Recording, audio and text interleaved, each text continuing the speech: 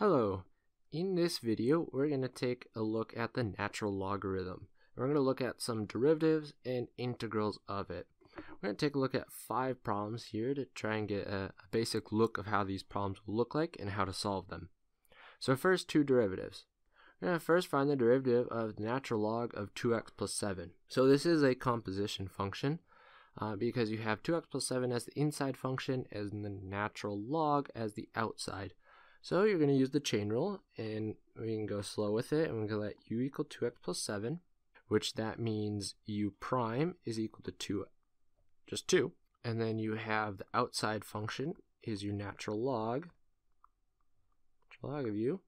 And now what we know to be the derivative of the natural log of u is 1 over u. Okay, so put that together, you have derivative of the outside function evaluated at the inner times derivative of the inner function. Multiply those together and you have 2 over 2x plus 7. And that's your derivative. Okay? So once we've discovered that derivative of natural log of u is in fact 1 over u, it's pretty easy to find these derivatives.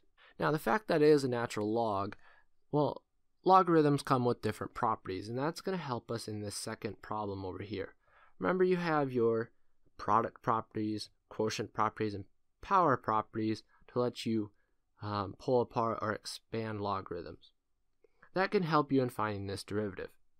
Because now you could do this derivative and just have all of that inside be your u, find the derivative of it. That would involve using a quotient rule. You could even let this x divide each of these, uh, simplify a little bit, and then do your u. But here's what I'm going to argue for. I'm going to say let's use properties of logarithms to pull this apart a little bit and make it just a little bit easier. Okay, so because the quotient property, division on the inside means subtraction on the outside, I now have this. And now, if I take the derivative of this, that means, of course, taking the derivative of each of them. So I have, uh, for natural log of x squared plus x squared minus 3, I have u equal x squared minus 3. u prime equals 2x. Okay, and then, so you have derivative of the outside function, 1 over u, x squared minus 3, times derivative of the inner function. Minus, well, derivative of natural log is just 1 over x piece of cake. Okay, so by pulling it apart, by using the properties of logarithms, it split it up into a lot of really easy and manageable natural log uh, derivatives. Okay, then that will be even more useful um, because inside this you could have a square root. Well, then you have a square root. That means it's an exponent to the 1 half power, so you can use the power property. Um, so you can pull it apart a few times. So using those properties of logarithms before taking the derivative can also be a, a really helpful first step. Well, let's try some natural log integrals. Okay, now looking at the first one, you're like, well, there's no natural log there. Well, that's because remember, derivative of natural log is what? 1 over x. So what does that mean? Well, that means the integral of 1 over x is natural log. Ah, so in fact, our natural log integrals here are going to involve something of the form 1 over u, if I can make my u substitution in the correct way. So if I can find a way to make the correct u substitution to get in the form 1 over u, then I'll be able to take the integral, and that's the key to this. Alright, so the integral of x over x squared plus 1 dx. I'm kind of looking at the denominator and I'm saying that's a pretty complicated thing. I think that's what I want my u to be. I want u to equal x squared plus 1. Because that's the most complicated portion of the function right there. So I'm saying, what might happen if I let u equal that? Well, then du is 2x dx. Oh, and when I substitute this in, notice I have an x dx right there. So I just have to divide by 2. So I can say this equals 1 half the integral of du over u, which if you want that written a little bit different, that's 1 half times the integral of 1 over u du. Hey, what do you know?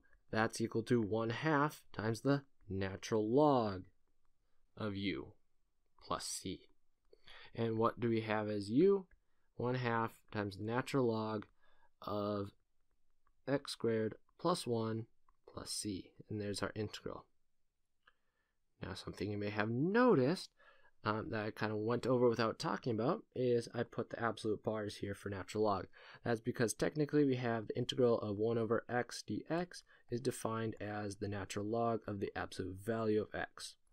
Okay, the absolute value there to ensure that what is inside the natural log is always positive.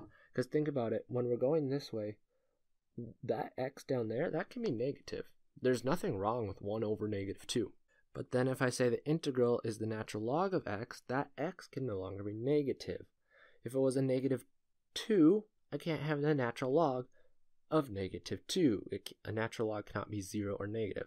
So we put the absolute value bars there to make sure we don't run into that problem. So every time you take the nat have a natural log integral, just have absolute value bars. Moving on to our next problem. Two more. So I have 1 over x times natural log of x on the denominator there.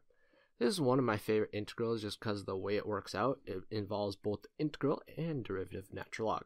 So your first instinct might be to let u equal x times natural log of x. Um, but that derivative is going to be a product rule it's just going to end in messiness. So in fact, what you're going to do is you're going to let u equal natural log x. That means du is 1 over x dx. Ah, do you see it? So you have the integral of 1 over x times 1 over natural log x dx, which is another way to write this. So if I let u equal natural log, well then I have 1 over u there. 1 over x dx, that's just my du. Okay, so this and this go to my du. Whoa, look, I just have the integral of du over u, which is equal to the natural log of u plus c. And what is u? It's the natural log again. So we end up with the function, the natural log of the natural log of x plus c. Pretty nifty integral right there. All right, so it comes down to being smart with what you choose for your u. In that one, we chose natural log of x, and then our du was that 1 over x. Pretty neat. All right, one final one, and this one's actually pretty easy. It just involves trig functions, so thought we should take a look at it. Okay, so you're noticing a lot of times when natural log is going to be the integral, it's going to be a quotient. So when I see cosine x divided by 1 plus sine x, I'm thinking it might be natural log. Not all the time, but if the derivative of your denominator is the numerator, mm, it's probably a natural log. So in this case, let's let u equal 1 plus sine x. That means du is equal to derivative of 1 is 0, derivative of sine x, cosine x, dx. Ah, piece of cake. So up top, cosine x dx becomes du, denominator is u, integral of du over u, well, that's just natural log of u. And what is our u in this case? It is 1 plus sine x. Alright, so easy integral there. Don't let the trig function scare you too much. Couldn't be easier.